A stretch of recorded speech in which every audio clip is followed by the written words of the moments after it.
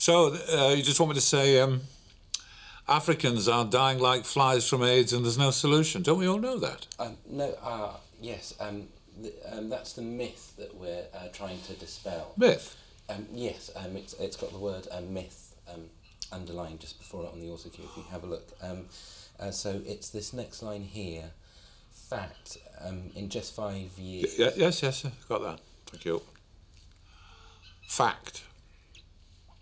Contrast. Myth. Fact.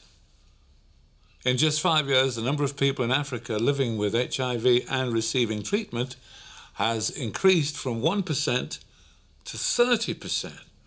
Whoa. Is that a fact? Yes, that is. That's amazing.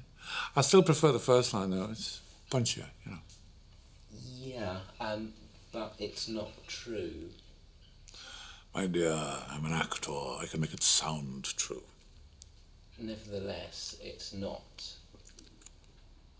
Yeah, look, um, the thing is, uh, people don't want to hear good news. Right. I mean, you, you, you, wouldn't get King Lear saying, I've talked it through with the girls and it's all sorted, would you? I mean, it's not dramatic. Right. See, drama, you've got to grab the audience by the balls and then you've got to keep on holding them by the balls. I know. It's what I do. What? Hold balls?